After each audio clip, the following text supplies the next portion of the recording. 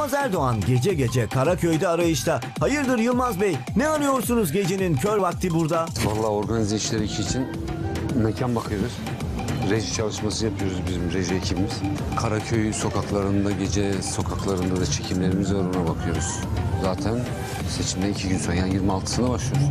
Maşallah Organize İşler 2'nin oyuncu kadrosu Şampiyonlar Ligi gibi. Genç ya da deneyimli yıldızların tamamı neredeyse bu filmde yer alacak. Kıvanç Tatlıtuğ, Ezgi Mola, Bensu Soral, ben Deniz.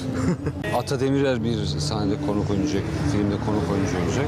Epey kalabalığız. Daha önce çıkan o sansasyonel kadro değil ama bizim çok güçlü bir kadro.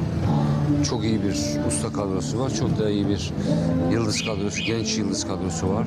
Organize işler bunlar Başımıza işler bunlar